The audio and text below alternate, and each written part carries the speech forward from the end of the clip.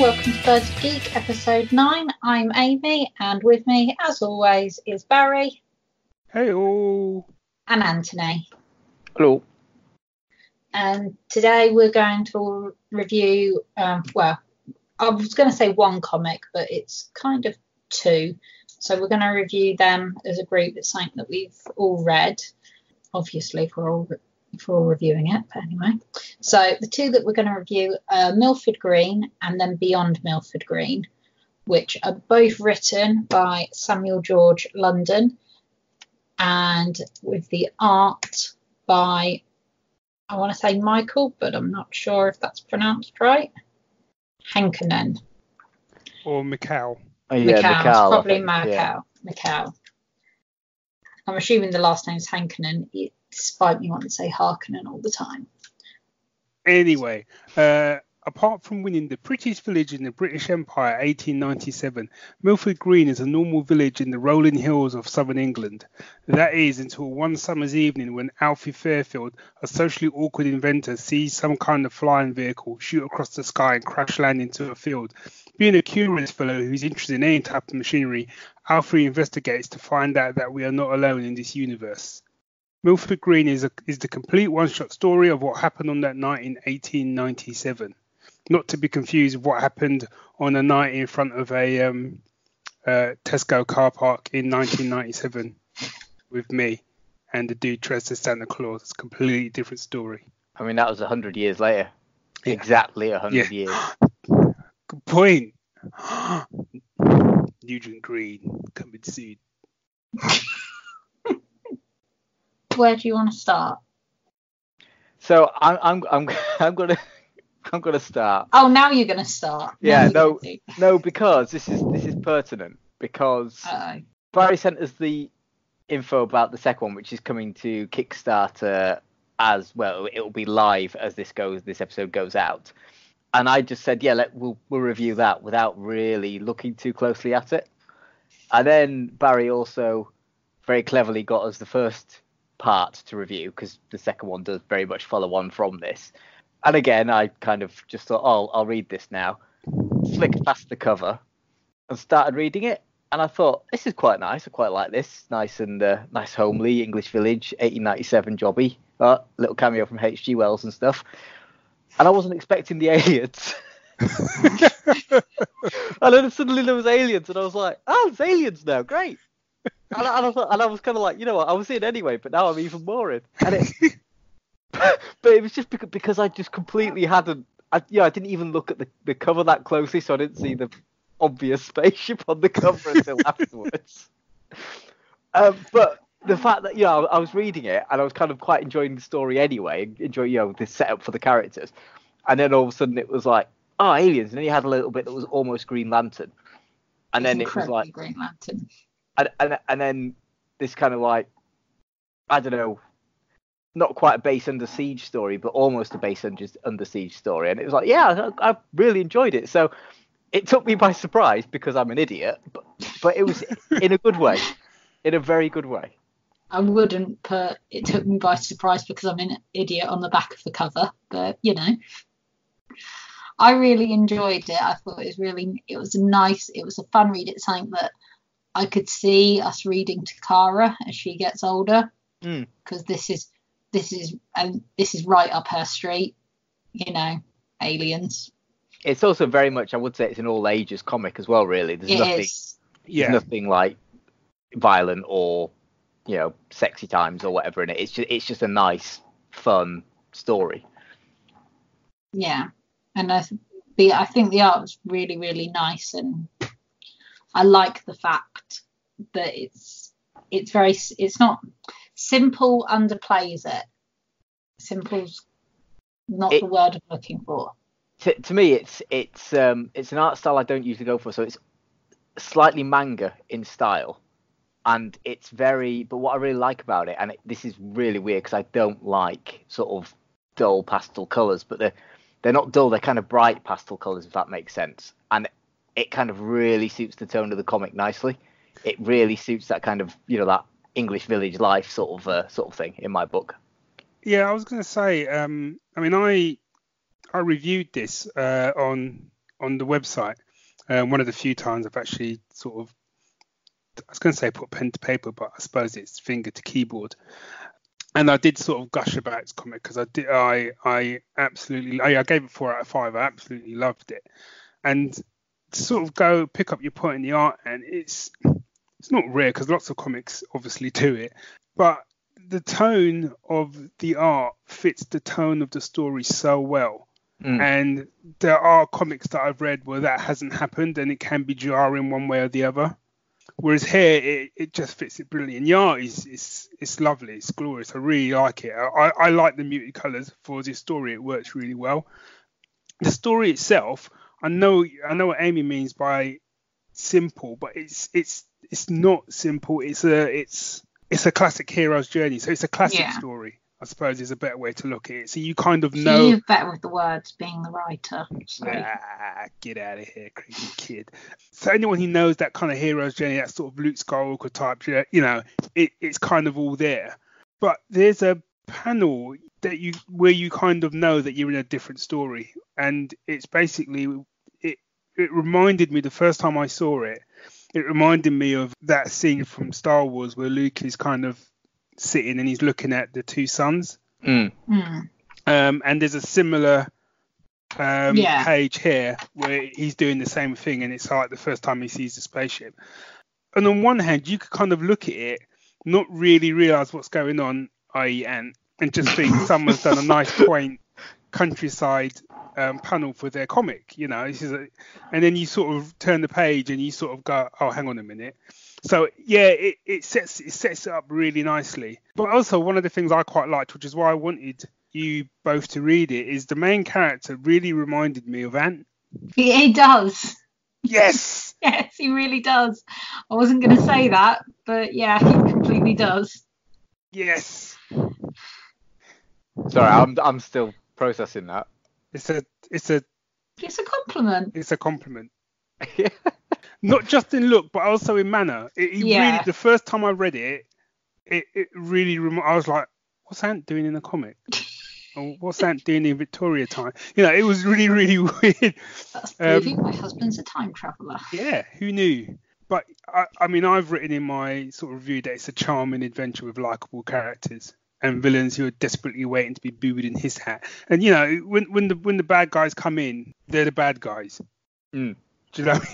yeah. There's no, there's, there's no grey, and I think sometimes that's good, especially for like all ages comics. That is that kind of classic good v evil type thing, which is quite nice to read sometimes.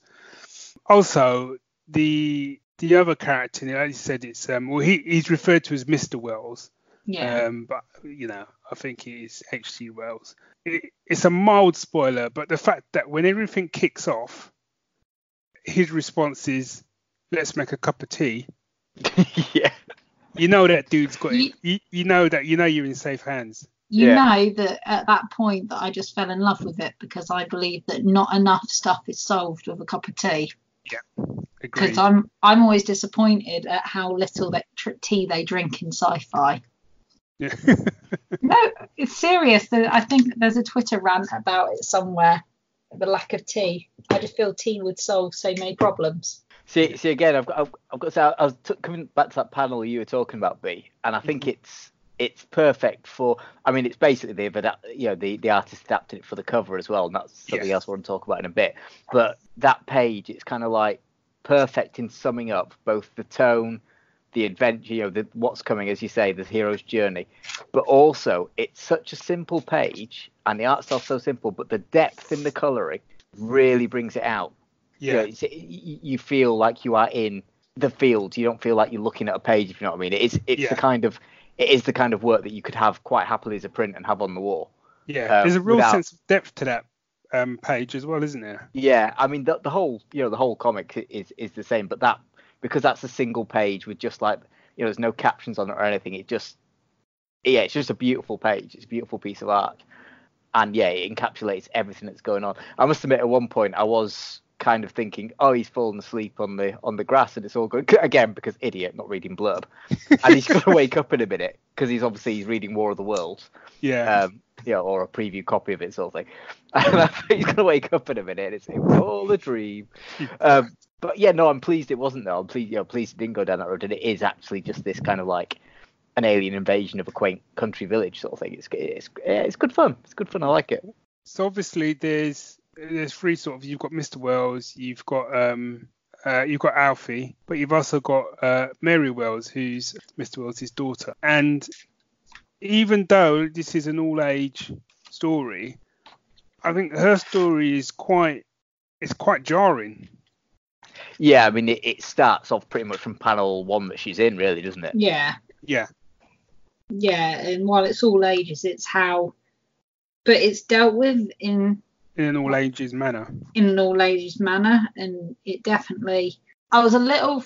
I wasn't overly uncomfortable, but I was a little taken back by it because it's not something you'd expect. You don't see that stuff in, the, in a comic. If we might as well say it. So just a tiny. It's only a tiny spoiler, but her boyfriend. I don't know if it's boyfriend or husband, but he's clearly abusive. I, I think it's boyfriend. Yeah, his boyfriend.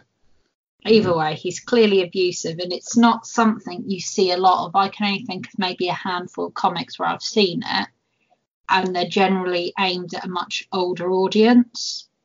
Mm, yeah. I, I, think the other thing with it as well is it's it's not often you see in these kind of like you know Victorian sort of adventure serial type things that that, yeah. that you know that did go on that was commonplace. Yeah. You know, and and this you know it's the fact that it's clear that people are aware of what's going on and, and are just ignoring it to an extent. And the fact that she comes out of it strong. Yeah. You know, possibly, in my opinion, a little bit rushed out of it. But then you've got 50 pages to tell this this part of the story in. So you know you, you have to expect a bit of that. But it's it's brave to do that and to actually to actually show it and to have have that in here, as you say in an all ages comic, definitely. Yeah, and I, I think I get what you mean about the rush comment. I think if you read it a second time, I think there's more to see. Yeah. Mm. You know, little, little little looks, little nods from her and stuff. So I, I think there's there's certainly more there than I thought the first time when I read it through the first time. Yeah, there is. It, it does when you look through it, and there's quite there's a lot happening in the backgrounds and stuff if that makes sense. It's like yeah. you look, there is just lots of things all over the place, which I really like. I like that the art is so detailed. Oh yeah, I, I wanted to talk about the cover briefly because it's it's something I mentioned briefly about that that one page and this being an adaptation of it. But what I love about the cover is a it takes that moment and beautifully presents it presents it in a slightly different way. It's the key moments, the turning point of the comic. So it's it's absolutely ideal moment to pick. But also seeing, and you get this a lot more in indie comics these days. I, I hate the big companies covers these days where it's generally it's drawn by someone else. It's quite often not related to what's in in the comic, especially with like um, you know you get variant variant covers for things and they're all just basically pin-ups. Yeah. But this is it's the perfect cover for it, and and it goes back to you know what comics used to be. They used to take that moment and amplify it. But in this, it's been they've been quite brave as well because they could have like brought in more of the aliens and the invasion and stuff. But it's just that moment sums up the story, and it's quite brave because if you see this on the shelves, you might think, oh, you know, that looks a bit, you know, passe kind of thing, until you actually look at what's streaking past in the background. But it is the perfect choice for the cover, and it's um yeah, it's a great choice, and the, the artwork's superb on it, and it's it's great to see the comics artist doing the cover and actually representing the comic with that cover as well. Yeah, 100% agree. Anything else to say about this one, or shall we move on to the second? Yeah. yeah. So this is uh, Beyond Milford Green. And after the events of Milford Green, Victorian villagers Alfie and Mary find themselves in a spaceship heading to the United Galactic Alliance. When they arrive, the president of the UGA asks them to go on a peace negotiation mission with the evil Synox, which will decide the fate of the galaxy. Will there be peace or war? Hmm. Dum, dum, dum. So this one picks up pretty much directly after Milford Green, literally like moments after. And while the art style is still the same, I found the colours incredibly different. It's still slightly muted, but the whole atmosphere very much changed. I felt. I, th- I think it was good. Yeah, I, th- I think the difference is that it's it's got more of an unearthly quality about it because we're now yeah. you know we're in space. Yes. Yeah. and that's presented really well in it. but it still keeps the original style. So it's still the same characters, it's still the same style, but it presents it slightly differently to make it clear that this is not Milford Green anymore. Yeah, and I, the thing I love as well is that consistency. It comes in even even though we're now dealing with you know alien cities and alien spaceships and alien life forms and stuff. That that that those designs perfectly match the designs of the village. It sounds weird when I'm saying it out loud, but kind of the way they've been designed and presented, it perfectly matches with the first part. So it it doesn't feel too disorienting and too Without dis- too jarring.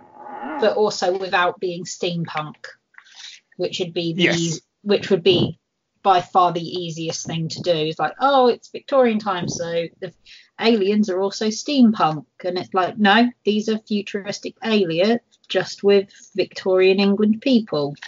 Yeah, that's that's actually a really good point because it would have been so easy, and in many ways, when I read the blurb for it, that's kind of what I thought it was gonna do.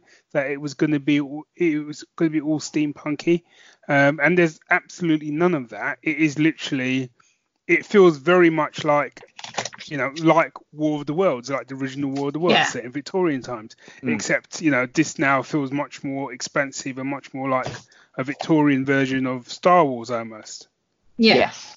And I think what you said about this, the art feeling different from the first issue or, or volume or whatever you want to call it, I completely agree with. And I think that otherworldly quality is, I couldn't put my finger on until you said it, but that that's what it is. I feel like you could put these back to back and you start reading through one, you get to the other one, you can see where it's different. There's a lot more greens Yeah. to it. There's, not- there's almost a green, a greenish tinge to like every page. I loved it. I, I it, it it did what a second volume should do. Um, it continued the story, it deepened the characters. Um, it didn't retread or old ground, which I think sometimes is the the trap that a lot of sort of sequels and second volumes fall into, where effectively they give you the same story but with like larger stakes, if that makes sense. Mm. Yeah. Um, was was this definitely felt the middle, you know, the middle story in in what is a planned trilogy by the look of it. Yeah, absolutely. Yeah, it's. I mean, the the story of this one is a little bit twistier.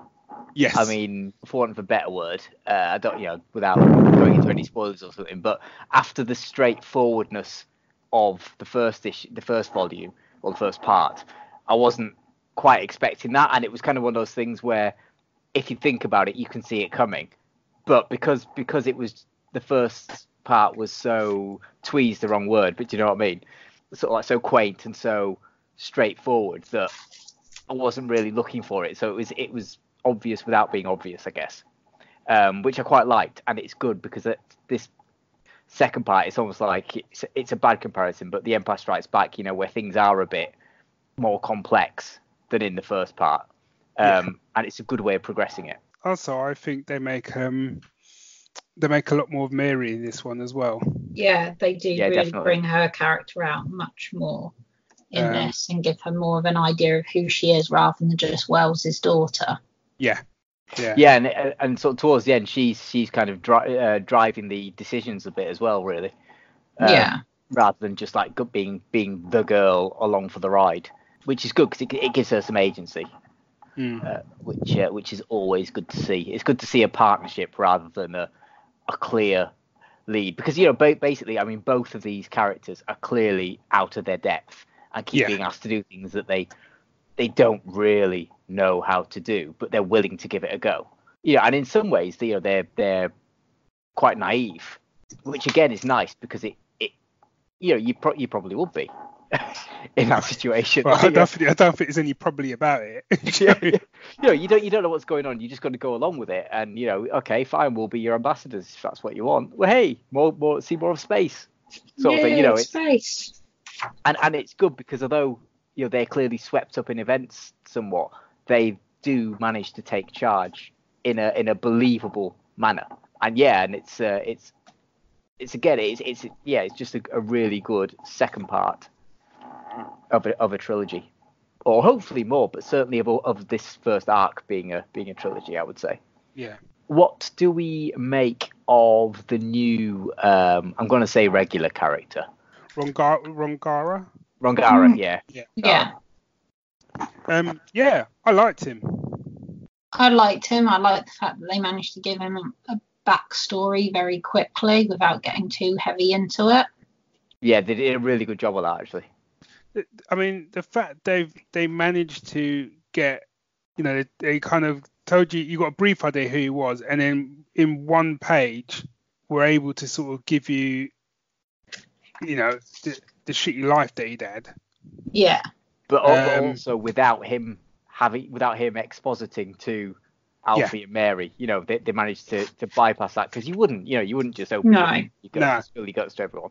Um, but yeah, they do it in such a way that we know, but they don't. It was great. Yeah. No, so I, I yeah, I, I thought this was a fantastic sort of second trip to Milford Green or beyond Milford Green days. Yes.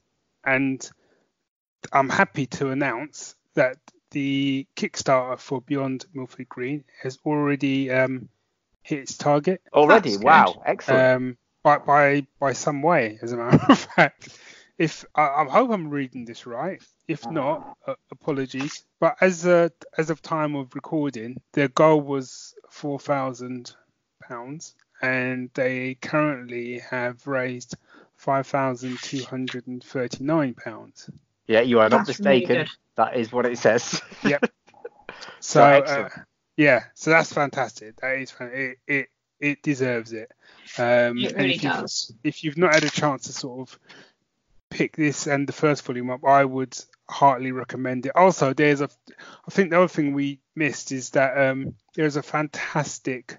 I know we've just said this whole thing about variant covers, but there's a fantastic variant cover in this, which is basically a take on the Star Trek: The Motion Picture poster. Yeah, Um, Yeah. but but the thing is though, saying about variant covers, the variant cover on this still tells the story of the issue. yeah, no, yeah, you're right, you're right. It's not it's not like it's it's not just a poster for the sake of being a poster. It it the cover reflects the content. Yeah, Um, in a slightly more um, exaggerated form, maybe, but it but it does. You know, it, it's that same job. You know what you're getting when you pick that up. Yeah. Yeah, no, good point, good point.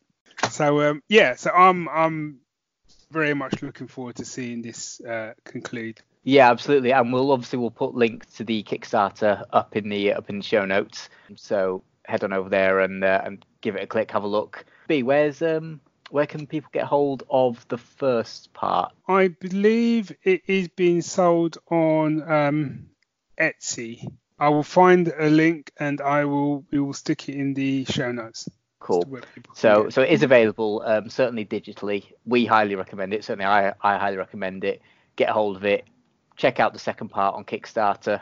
Um, and yeah, read it. It's it's great.